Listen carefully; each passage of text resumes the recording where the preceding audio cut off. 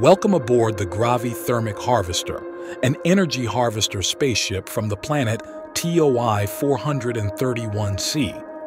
This is an alien spacecraft pushing the boundaries of energy generation technology. The ship, crafted from graphene material in the shape of a long ribbon, leverages thermal and tidal forces for sustainable energy generation. The ship is placed between two very tidally active celestial bodies. One side of the ribbon is very dark while the opposite side is very reflective. This causes a thermal difference inducing oscillations into the ribbon.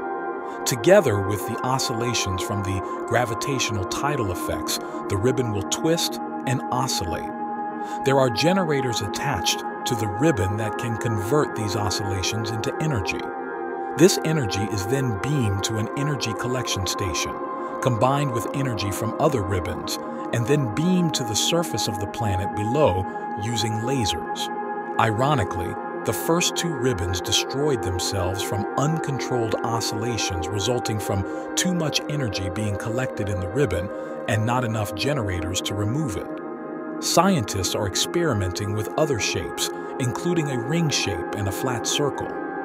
Both of these shapes allow for additional generators so as to remove more of the collected energy, dampening the oscillations. Join us as we delve into its innovative design and pioneering operations. Unravel the mysteries of Gravithermic Harvester. Click on the link in the description for fascinating insights.